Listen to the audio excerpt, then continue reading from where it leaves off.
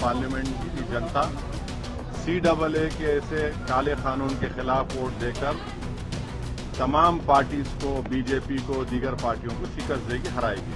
मज़ाक खैज बात है कि कभी हम बी टीम हो जाते तो कभी उन्हें बोलते हैं, ये बोलते तो ऐसा लगता है कि ये लोग कंफ्यूजन का शिकार हैं, मगर हमारे पास क्लैरिटी है।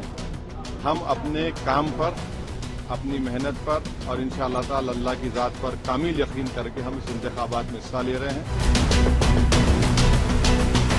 देखिए, बीजेपी ने सी डबल ए का अनकॉन्स्टिट्यूशनल कानून बनाया है और रिलीजन की बुनियाद पर बनाया गया है, जो राइट टू इक्वालिटी के खिलाफ है।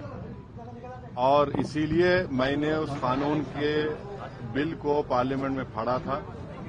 और हम आ, उस वक्त भी खिलाफ थे आज भी और कल भी रहेंगे। और हैदराबाद की पार्लियामेंट की जनता सी डबल ए के ऐसे काले कानून के खिलाफ वोट देकर तमाम पार्टीज़ को बीजेपी को दीगर पार्टियों को शिकस्त देगी हराएगी। अभी जिस तरह से हम देख रहे हैं कि सब ये प्रचार कर रहे हैं कांग्रेस के खुद के नेता भी ये कह रहे हैं कि फिरोज खान जैसे नेता कि पहले हम उनके खिलाफ लड़ रहे थे अब उनके साथ लड़ने को एक, एक, एक बात सुन लीजिए हमारा इस चुनाव में किसी से अलायंस नहीं है, तेलंगाना में। उत्तर प्रदेश में, उत्तर उत्तर उत्तर प्रदेश में हम, हमारी बहन मोहतरमा पल्लवी साहिबा के साथ हमने पीडीएम बनाया। तमिलनाडु में हमने एआईएडीएमके के साथ हमारा अलायंस है। महाराष्ट्र में इम्तियाज़ जलील साहब बात कर रहे हैं। मगर तेलंगाना में हमारा किसी दूसरी पार्टी से अलायंस नहीं है। उत्तर प्रदेश में पीडीएम हमने बनाया। तमिलनाडु में एआईडीएमके से हमारा अलायंस है। और ये बड़ी मज़ाक खैज बात है कि कभी हम बी टीम हो जाते तो कभी उन्हें बोलते हैं ये बोलते। तो ऐसा लगता है कि ये लोग कंफ्यूजन का शिकार हैं, मगर हमारे पास क्लैरिटी है। हम अपने काम पर अपनी मेहनत पर और इन अल्लाह की ज़ात पर कामिल यकीन करके हम इस इंतबात में हिस्सा ले रहे हैं। और मुझे यकीन है कि हमारे पार्टी के तमाम उम्मीदवार बहसे तो रुकने पार्लियामान एमपी कामयाब होंगे। सर माधवी लता जी आरोप करते हैं कि आपके ऊपर आपके यहाँ असेंबली पार्लियामेंट में तो तकरीबन छह लाख से ज़्यादा बोकस होता है जिसकी वजह से आराम से आप हर वक्त तीन लाख वोटों से जीतते हैं। ऐसा है देखिए आपको समझने की ज़रूरत है। कम से कम आप तो अपने आप को लेवल पर नीचे मत गिरा दीजिए। आप माशाल्लाह से एक जिम्मेदार सहाफी है, जर्नलिस्ट है, आप पढ़े लिखे हैं। आप थम्सअप नहीं है।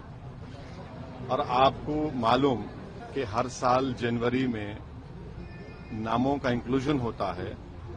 उसके बाद लिस्ट आती है इलेक्शन कमीशन ऑफ़ इंडिया की तरफ़ से। मैं उसको हेड नहीं करता हूँ।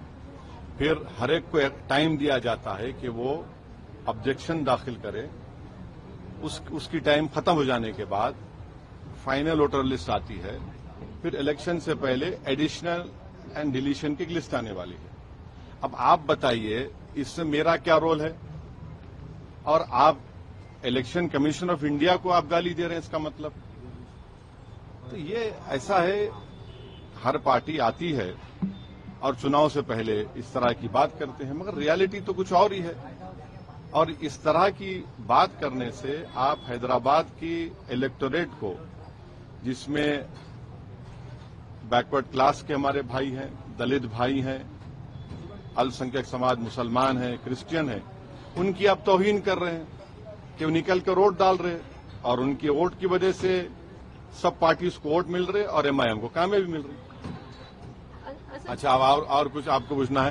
सर तेलंगाना के चीफ मिनिस्टर एक नया मुद्दा उठाए सर तो साठ साल पहले जो गवर्नमेंट जॉब था जो सिक्सटी वन ईयर्स तक था जो वैसे हुकूमत थे आप बता रहे थर्टी थ्री सर्विस होने के बाद उसे नहीं मैं उस बारे में पढ़ा नहीं अभी। पढ़ने के बाद ही मैं कोई तफसील बयान दे सकता हूँ अभी पढ़ा नहीं उस बारे में। सर ये एक मिनट बर बर बर बीजेपी जो कैंडिडेट है वो आपके लिबास को लेकर कमेंट्स कर रहे हैं। तो गाड़ी रखते हैं हैं कुर्ता पूजा पैजामा पहनते हैं। इससे कोई मुसलमान नहीं बनते हैं मुसलमान की आइडेंटिटी तो ऐसा ही है ना वो नरेंद्र मोदी ने भी कहा था कि लिबास देखकर पहचाने उनका भाषण है। तो लिबास से नफरत है मेरी दाढ़ी से नफरत है टोपी से नफरत है हिजाब से नफरत है मेरे खाने से नफरत है। तो आपको मेरी वजूद से नफरत है। मगर हैदराबाद की आवाम नफरत को कामयाब नहीं करेगी मोहब्बत को कामयाब करेगी। और जो लोग हमारी दाढ़ी के हमारी टोपी के हमारे हिजाब के हमारी शनाख्त के हमारे वजूद के खिलाफ है जमहूरी तरीके से उनको एक बदतरीन शिकस्त देगी हैदराबाद कॉन्स्टिट्यूंसी के बाहुबली माने जाते तो कौन? क्या मतलब आपका उसका? मतलब नहीं नहीं नहीं नहीं उसका मतलब क्या है वो बोलो आप। लगातार यहाँ से जीत हाँ तो आ, आप आप ये बोलिए। लोकप्रिय बोलिए। हाँ आप आप बोलिए लो, लो, लोगों को हम लो, आवाम हमारे पसंद करती है हमारे ये ये लफ्ज इस्तेमाल मत करिए हमारे बारे में। हाँ थैंक यू आप अपोजिशन किसको मानते हैं सर आपके खिलाफ जो यहाँ देखिए इलेक्शन जब आप लड़ते हैं तो आपके खिलाफ जो भी कैंडिडेट रहता है आप उनके खिलाफ इलेक्शन लड़ते हैं। और आपको जीतना है तो जितने भी मद्दे मुकाबिल आएँगे हम उनके खिलाफ इलेक्शन लड़ेंगे। अब ज़ाहिर है, मैदान में बीजेपी भी है, कांग्रेस भी है, बीआरएस भी है, दीगर और छोटी बीजेपी और ये सब लोग आ जाएँगे। तो हैदराबाद की आवाम ने हमेशा से यूनाइटेड तरीके से मुतहदा तौर पर मंजलिस को कामयाब किया है और इंशाल्लाह आपके बार मंजलिस को कामयाब करेंगे।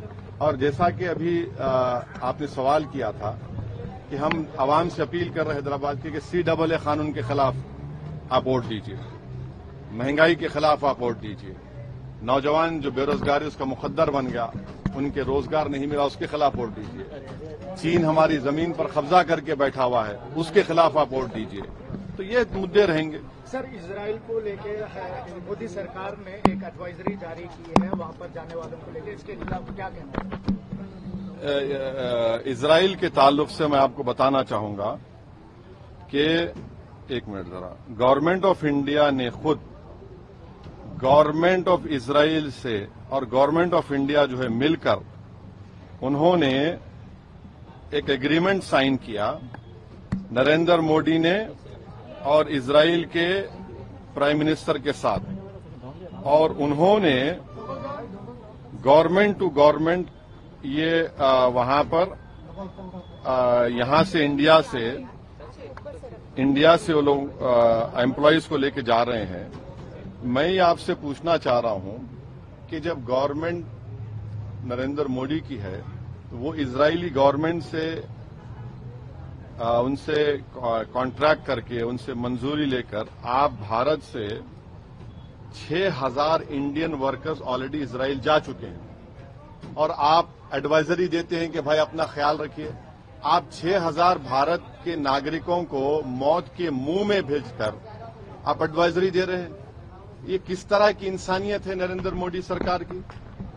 आप फ़ौरन नरेंद्र मोदी उन 6000 भारत के सिटीजन्स को वापस बुलाइए। इसराइल की हुकूमत फलस्तीनियों के खिलाफ एक जेनोसाइड कर रही है। तीस हज़ार लोग मारे गए।